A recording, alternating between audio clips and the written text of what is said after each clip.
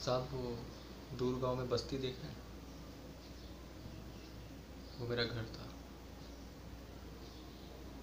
मेरा बाप वहाँ चाय के बगान में काम किया करता था।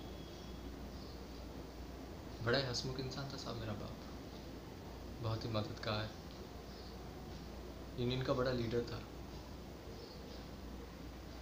मुझे मेरे बाप से खूब प्यार मिला साहब। वह पेड़ देख रहे हैं साहब? उस पर मोटी रस्सी और वो झूला। मेरा बाप मुझे वहाँ रोज़ ले जाके ज़ोर ज़ोर से पेंगे दिया करता था। झूला और ऊपर और ऊपर।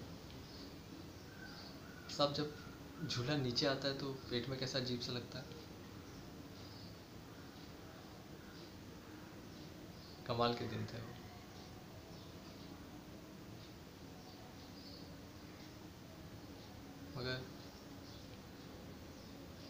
एक दिन पुलिस आई और मेरे बाप को पकड़ के ले गई।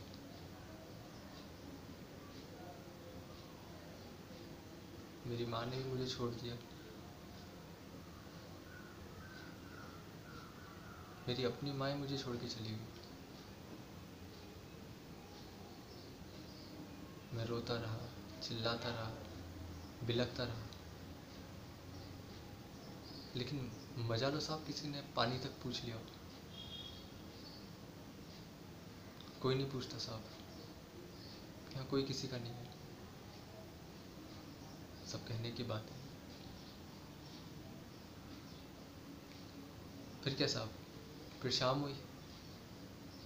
शाम हुई तो भूख लगी। साहब जब भूख लगती है ना तो पेट में ऐसा लगता है कि कोई जानवर अपने नाखूनों से नोच रहा हो। बर्दाश्त नहीं होता साहब। पागल हो जाता आदमी। फिर मैंने देखा एक कुत्ता रोटी चबा रहा था। वहीं उस पेड़ के नीचे। मैंने पत्थर उठाया और दे मारा कुत्ते को। कुत्ता भागा और मैं उसके पीछे पीछे। और भागते भागते वो रोटी का टुकड़ा उसके मुँह से गिर गया साहब। और मैं खा गया।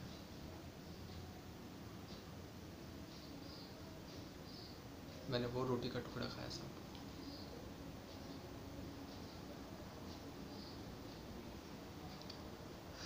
तब से मानो साहब किसी ने ज़मीन आसमान पे लिख दिया कि,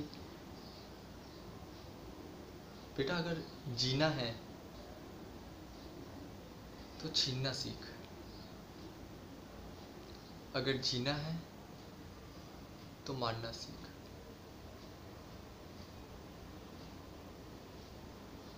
तभी से ऐसा हूँ साहब तभी से ऐसा हूँ।